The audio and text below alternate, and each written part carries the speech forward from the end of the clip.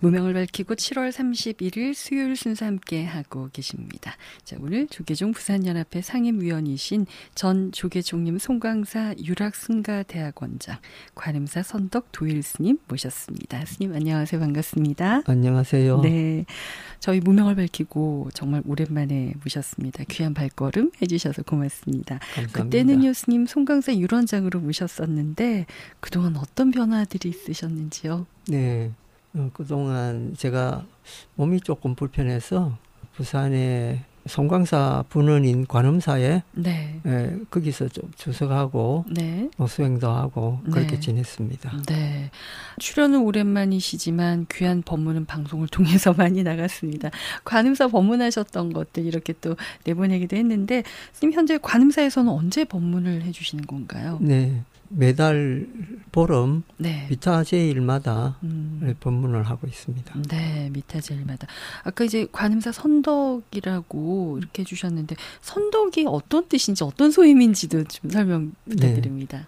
어, 선덕은 보통 이제 선언에서 네, 수행을 오래 하신 스님이 특별한 어, 일 없이 절에 여러 가지 큰 일이 있으면은 음, 어, 법문도 하고 네, 또 이렇게 뒤에서 스포터도 하고 네, 이제 그런 일을 하는 분을 선덕이라고 부릅니다. 네, 선덕. 일단 미타제일 때 법문해 주시고 이 법문이 정말 큰 소임이시잖아요, 그렇죠? 네, 그렇다고 생각합니다. 어, 관음사 우란분절 백중 일제 때 법문도 해주셨고 이번에 보니까 회양 법문도 해주시네요. 네, 첫 번째 법문은 어, 원래 그 제가 두 번째 법문인데 네, 첫 번째 법문은 우리 관음사 회수 스님께서 네. 첫 법문을 이제 저한테 이렇게 하라고 말씀하셔서 아, 네, 어, 제가 하게 되었고요. 네. 어, 마지막 법문은 그날이 보름이기 때문에 네, 아, 예, 예. 보름이라서. 네, 네, 네. 백중기도 지금 다들 한창 열심히 기도 중이신데 스님께서 이제 시작하면서 이렇게 또 불제아들에게 백중 기도하는 마음가짐이라고 할까요? 귀한 가르침 주셨으면 합니다. 어, 백중은 전통적인 불교 의례이고 또 경전에 조상님을 천도하는 날로 이제 그렇게 되어 있습니다. 어, 이제 불교 교리에 의하면은 어, 우리 생명이 죽으면은 육도를 윤회를 하기 때문에 네. 그 육도 윤회하는 이제 조상님들께 기도와 보시의 공덕으로 네. 태어난 곳이 어디든지 그 공덕을 이렇게 받으시면 좋겠다 해서 음. 어, 지내는 것이 우란분절의 본래 뜻입니다. 네. 저희가 어떤 마음으로 좀 기도하면 좋을까요? 네, 어, 내가 산 이 공덕으로 먼저 이렇게 가신 우리 조상님들이 어디에 태어나 계시든지 네. 빨리 인간의 몸을 받든지 음. 혹은 천상에 태어나시든지 그렇게 했으면 좋겠고 그 나머지 공덕으로 우리가 남아 있는 가족들 음. 이제 손자 손녀들까지 네. 에, 무탈하게 네. 에, 이렇게 살면 좋겠다 이러한 염을 담아서 네. 어, 기도하는 것이 좋다고 음. 봅니다. 현재 관음사에 좀 많은 분들이 기도하고 계시죠? 네, 네. 늘 기도가 끊이질 않는 곳이 바로 또 관음사가 네, 아닐까 네, 그렇습니다. 싶습니다. 네, 관음사 회주 지연 스님과는 또 어떤 인연이신지요? 네, 관음사를 제가 오게 된 그 이유도 바로 이제 그 스님과 인연 때문에 오게 된 건데요. 음. 아, 제가 송광사 아, 유론에 가게 된 것도 네. 우리 지연 스님께서 어. 어, 저를 또 불러주셨고 네. 또 거기서 10년여간 유론장을 할 때도 음. 스님께서 늘 이제 율주로서 네. 어, 뒷받침을 해 주셔서 음. 그래서 제가 몸이 불편할 때 에, 관음사 와서 쉬면 좋겠다 이런 말씀하셔서 아. 그 인연으로 이제 네. 오게 된 것입니다. 네. 관음사에서 편하게 쉬고 계셨던 거죠? 네, 네, 아주 편합니다. 네. 자, 지연 스님과의 그런 귀한 인연으로 송강사 스님께서 유런장 그리고 지금은 또 송강사 아 이제 분원인 부산 관음사의 선덕으로 또 네. 주석하시면서 네. 또 귀한 법문들 이렇게 아까 보름 미타제일 때 예.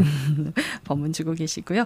자, 이번에 이제 대한불교 조계종 부산 연합회 주최 제7회 3기 개국의 수계 대법회 8월 지금 이제 10일 네. 토요일에 부산의 국제 전시 컨벤션 센터에서 열리는 걸로 저희가 지금 알고 있는데요. 네, 네. 그날 스님께서 존중 아사리로 함께 해 주시거든요. 네, 네. 또 조계종 부산연합회 상임위원이시기도 하고요. 어떻습니까? 조계종 부산연합회 수계법회는 처음이신 건가요? 아닙니다. 제가 이번에 참가하면은 네. 두 번째 어. 참가가 되는데요. 네. 그 전에도 존정 아사리로 음. 어, 참석을 했었습니다. 네. 유런장으로서 어떻게 보면 그동안 이제 또 많은 수계법회 함께 하셨을 텐데 네, 네. 이번이 또두 번째라고 하셨고요. 네. 조계종 부산연합회 수계법회는 어떤 마음으로 함께 하고 계시는지요? 아, 이제 저는 요- 율학을 공부한 사람으로서 어, 이런 이런 어, 불자님들이 늘 이렇게 개를 수지하고 있어야 된다. 이런 이제 법문에서도 그런 이야기를 하고 네. 또 그런 까닭에 개별에 관한 행사도 많이 이제 주관을 하고 네. 그렇게 했습니다. 그래서 네. 지금도 역시 이제 그런 마음으로 음. 참가를 하는 것입니다. 네. 그런데 이제 조계종 부산연합회 수계법회만의 그 분위기, 느낌이란 게 있죠, 스님. 어떠셨어요? 이번이 두 번째신데 처음 언제 참석하신 건가요? 몇 년 전인데요. 네. 이렇게 이제 대규모로 음. 어, 수계식을 하는 것은 아마 어, 우리 부산이 유일하지 않을까 아. 이제 그런 생각이 들고 네. 이 서울 같이 이렇게 대규모로 사람을 모아서 네. 어, 법회를 할 수 있지만은 음. 제가 볼 때는 부산의 불자님들이 더 신심이 음. 돈독한 것 같습니다. 네. 이, 이런 대규모 삼기의 오개 수계는 음. 어, 세계에서 그 유례가 없습니다. 아, 예. 네. 예, 그래서 어, 상당히 이 음. 의미가 있는 행사라고 음. 생각이 듭니다. 네. 자, 존중 아사리로 함께 또, 어, 이번 법회 때도 해 주실 거. 그래서 더 많은 불자님들이 손꼽아 기다리고 또 뜻깊지 않을까. 수의동참이란 표현이 이럴 때 또 맞지 않을까 네, 네, 생각이 맞습니다. 듭니다. 자, 오늘 스님 이렇게 오셨으니까요. 삼계이계오계이 계의 의미를, 어, 스님 직접 좀 설명을 주셨으면 합니다. 네, 어, 삼기의는 우리 불교의 근간이 되는 어, 삼보, 즉 어, 부처님 그리고 부처님 법, 그 다음에 스님들 이렇게 해서 우리는 어, 거기에 귀를 합니다. 이제 이런 음. 내용인데 이것은 비유를 하자면은 부처님은 의사와 같으시고 어, 법은 그 의사가 지어준 약과 같고 네. 그리고 스님네들은 간호사와 같아 이렇게 비유할 수 있습니다. 그래서 우리는 부처님께서 지어주신 약을 먹고 그 약이라는 게 곧 이제 어, 부처님의 법이 되겠죠. 네. 이제 환자가 그 약을 먹고 병을 낫듯이 부처님이 설해 주신 법을 듣고 그 미망에서 깨어나서 참다운 삶을 사는 그러한 음. 방법을 배우는 것. 이것이 이제 삼기의에 기하는 의미고요. 어, 오계는 어, 행동 강령이라고 말씀드릴 수 있는데요. 네. 행동 강령은 이게 이제 불교의 행동 강령도 되지만은 또 이게 사회의 그 규범에도 어, 가장 알맞은 그러한 계율이 되겠습니다. 그래서 네. 꼭 종교색을 드러내는 것보다는 인간이 어울려 사는데 가장 필요한 그러한 그 규범이 아닐까 이제 그렇게 생각하고 있습니다. 삼계의계오계 자, 그런데 이 개를요, 스님, 저희가 어떤 마음으로 좀 받아야 하고 또 이 수계법회에 동참을 하면 좋을까요? 네. 사실 그 오계를 받는다 하면은 아 나는 이 개가 지키기 어렵다 이렇게 생각하는 분들이 있습니다. 네. 예, 그 사실 가령 그 술을 먹지 말라라고 하는 대목에 있어서는 우리가 사회를 살아가는데 이 거사님들일 경우에는 술이 빠지면은 그 사회생활이 잘 되지 않습니다. 음, 네. 그리고 요즘 여성들도 많은 분들이 이렇게 술을 또 즐기는 분들도 있습니다. 네. 그리고 이제 상업적으로도 그 술을 판매하는 네. 그런 분들도 있고요. 그러면 이게 이제 불교적인 계율로 보면은 다 문제가 되지 않겠냐. 네. 이제 이렇게 할 수 있고, 그 다음에 이제 회를 팔든지 생선을 팔든지 아, 이렇게 네. 어, 이런 분들도 음. 어, 이렇게 되면은 내가 걔를 어떻게 지키냐. 음. 그럼 난 참불자도 아니지 않느냐. 네. 이렇게 이제 하는 분들도 있죠. 음. 어, 그에 대해서 해답이 분명히 있습니다. 음. 우바세 개경이라고 하는 책이 있는데요.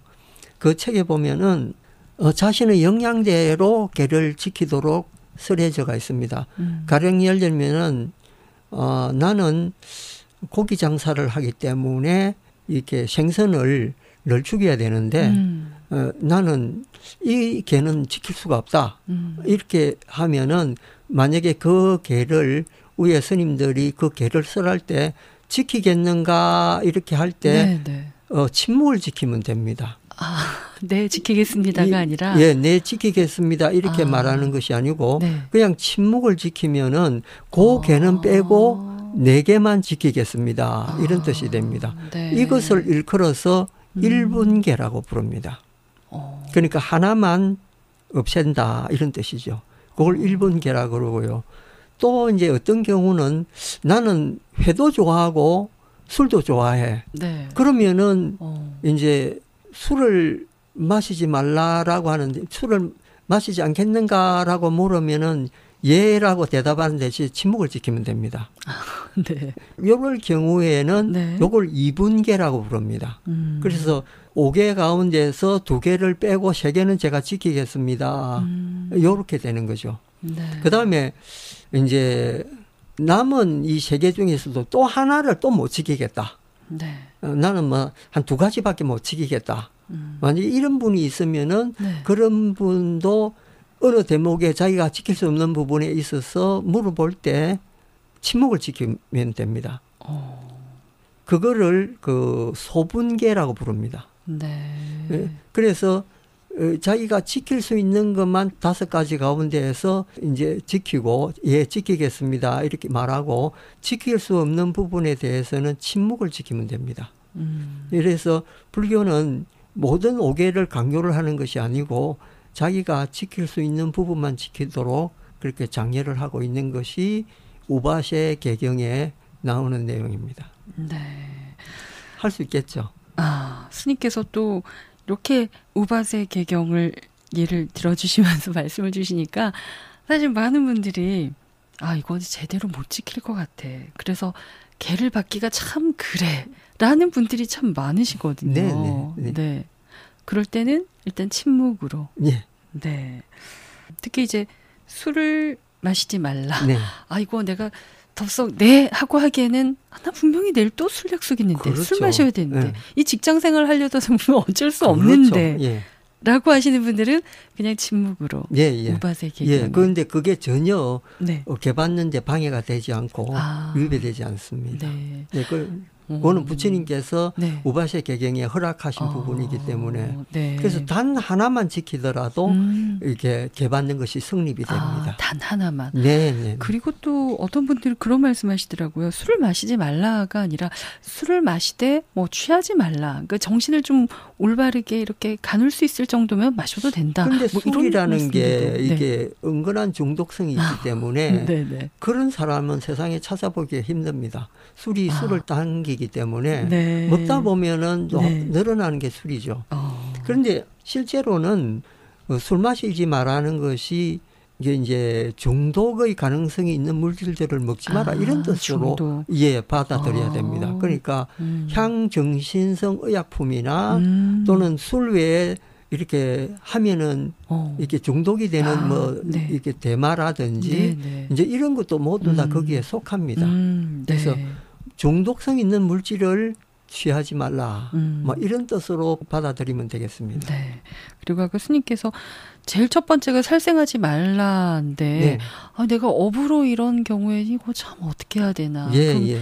나는 개를 못 받는 건가요? 네. 아니면 불자로서 자격이 없는 건가요? 이런 분들도 예. 계셨거든요. 전혀 걱정하실 필요 없습니다. 네. 예. 자, 이렇게 5개. 자, 가장 기본이 어떻게 보면 삼규이계인데, 삼규이는 이건 기본 아니야? 근데 이걸 개를 지켜야 한, 이거 당연한 거 아니야? 라고 또 생각하시는 분도 계시거든요. 사실은 이것이 우리는 그런 생각을 하지만은 막상 그 자녀들이 다른 종교를 권유할 때 믿음이 흔들리는 경우 굉장히 많이 있습니다. 네. 그는 삼보에 대한 신심이 약하기 때문에 그렇거든요. 음. 그래서 어 제가 아는 그 불자님 한 분이 그 오셔가지고 그 네. 고민을 저한테 털어놨습니다. 어. 그래서 이제 그 따님이 어릴 때는 어머니 따라서 이제 절에 왔는데 미국으로 유학 간 뒤에 개종을 해서 기독교를 믿더라. 그러고 이제 아. 집에 와가지고 네. 그 할머니부터 시작해서 개종하라고 그렇게 이제 성화를 아. 하니까 할머니 입장도 난처하고 부모님 아. 입장도 난처해서 네. 그래서 저한테 상담을 왔습니다. 어, 뭐라고 답해 주셨어요? 스님? 예. 이제 그러지 제가 그랬습니다. 만약에 네가 시집을 가서 애를 낳았는데 음. 걔 애가 이슬람을 믿는다. 음. 근데 이슬람 믿으면서 너한테 기독교를 버리라고 강요할 때 너는 마음이 어떻겠느냐. 어. 어. 미국에는 충분히 그런 가능성이 어. 있거든요. 네네. 그러니까 그 불자님이 그 이야기를 듣고 그 딸한테 그 이야기를 했답니다. 음. 그 딸한테 그 이야기를 하니까 그 딸이 침묵을 지키고 대답을 못 했답니다. 그 뒤로 어. 종교 강요가 없었다. 네. 종교에 대한 어떤 믿음 또 네. 소중함. 예. 근데 가장 기본인데 이게 좀 흔들리거나 또 마지막에 또 개종하시는 분들도 또 많습니다. 계시잖아요. 어떤 예. 여러 가지 이유로. 예. 아, 그럴 때 흔들리지 않을 수 있는 그 본연의 정말 확고한 믿음. 예. 아, 가장 기본 아니야라고 생각하지만 그 기본. 잘 흔들리죠. 네. 가령 예를 들면은 이제 그 가톨릭에 가면은 그 교의가 엄숙하고 네. 이거 음악이 사람을 이렇게 감동을 네. 시킵니다. 네. 이제 그에 반해서 불교 오면은 약간 좀 질서가 어. 이렇게 잡히지 않고 네. 그래서 이렇게 보기에 가톨릭이 아주 훌륭하다 이렇게 생각하는 음. 분들도 있습니다. 네. 그런데 이제 참 그 재미있는 것이 이 종교적 교의가 허술할수록 외관적인 것을 많이 따듬습니다. 그 왜냐하면은 그 음. 내면이 허술한 거를 보완하기 위해서 의례를 엄숙하게 만드는 것이죠. 음. 이제 그 대표적인 게 이제 가톨릭의 그런 음. 미사 의식이라든지 이런 음. 건데요. 음. 불교는 그 대신 이제 그 내면이 훌륭하기 때문에 어. 그 교리가 네. 타 종교에 비해서 완벽하기 때문에 음. 이제 그 내용을 아는 분들은 사실은 흔들리지 않죠. 음. 이제 음. 그래서 우리가 보통 그 사과라고 해서 네. 그 이제 초기 불교에 수행해서 이르는 그 네 가지 이 과위가 있습니다. 그 중에 음. 제일 첫 과위가 이제 그 수다원이라고 하는 과위인데요.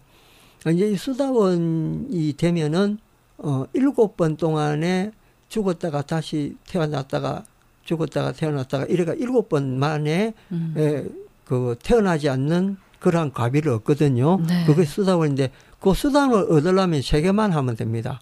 처음에 그 무화 무화를 깨치고 음. 두 번째는 타 종교의 교의나 교리나 이런 데 대해서 관심이 없게 되는 거. 음. 이제 그걸 초월하게 되는 거. 네. 그다음 제 세 번째가 부처님과 법에 대한 굳건한 믿음. 어. 요세 가지만 있으면은 수다원과에 이른다. 네. 라고 되어 있습니다. 네. 그래서 이것은 사실은 어찌 생각해 보면은 불교 교리를 기본적으로 아는 분들은 아 네. 근본적으로 영원한 나라는 것이 없구나 어. 이렇게 생각하면 그는 이미 이제 무화를 터득한 게 되겠죠. 네. 그 다음에 타종교가 어떤 그런 교회에서 노래를 부른다든지 음. 가톨릭처럼 엄숙하다든지 이런 걸 네. 보고 아 저것은 그 잘 따듬어 놨지만은 내용은 우리 불교가 더 뛰어나 이렇게 아, 해서 네. 이렇게 간단하게 음. 예, 무시할 수 있을 정도의 경지가 되면은 네. 이제 되는 거고요. 네. 그다음에 이제 세 번째가 네. 삼보에 대한 굳건한 믿음. 요세 가지만 되면은 수다원으로 아. 경지가 이르게 된다. 네. 이렇게 되어 있습니다. 네. 자, 제7회 3개기 5개 수계 대법회 앞두고 조계종 부산연합회 상임위원이신 관음사 선덕 도일 스님 모셔서 말씀 듣고 있습니다. 근데 많은 분들이 아, 오케이, 스님 지난번에 받았는데요. 작년에 받았는데요. 재작년에 받았는데요. 근데 또 받아도 되나요? 라는 그런 생각들을 많이 또 갖고 계시고, 아, 도대체 몇 번을 받아야 하는 걸까요? 라고 또 궁금해 하시는 분들이 계신데, 네. 어떻게 하면 좋을까요, 스님? 네, 그것은 부처님 당시부터 그 팔관제계라고 네. 부처님 당시부터 내려오는 그 제가 불자님들의 수행 방법인데요.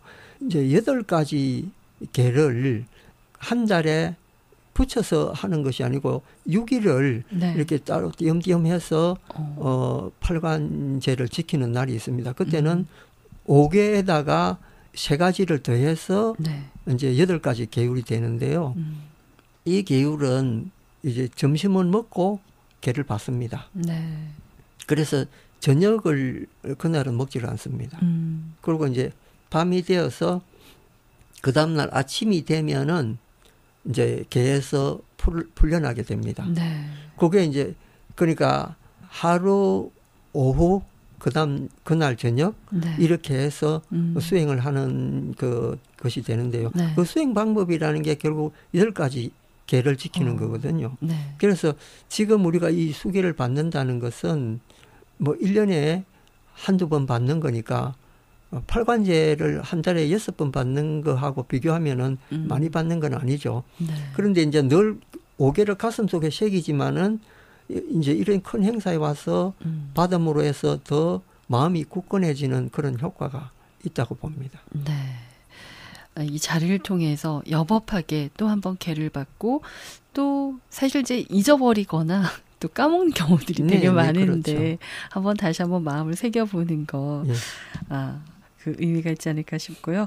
자, 스님께서는 이제 전 조계종님 송강사 유락 승가대학 원장으로서 많은 스님들을 가르치셨는데 개의 의미 현대적으로 어떤 변화가 있을까요? 또 일반 불자들은 얼마만큼 좀 지키면 될까요? 스님네들이 지키는 계율과 신도님들이 지키는 계율은 좀 다릅니다. 네.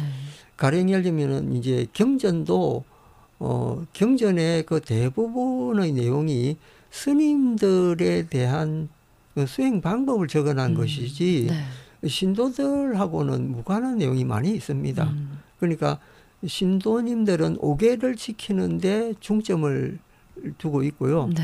그 다음에 또 한 가지 덧붙인다면은 보시를 하는 것이 또 수행의 방법이다. 이렇게 어. 나와 있습니다. 그러니까 네. 신도들 입장에서는 음, 그 보시와 지계, 네. 정말에서 보시하는 것과 계율을 지키는 것, 오계, 어, 네. 그것이 이제 어, 일상화되는 것이 수행이고요. 음, 스님들의 계율은 이제 250까지나 될 정도로 많이 있습니다. 그렇다고 해서 오늘날 그 계를 그 다 지킬 수가 없는 게 네. 이제 인도에서 제정된 거기 때문에 환경이 다른 한국에서는 아, 어, 지키기가 어려운 것이 사실이죠. 네.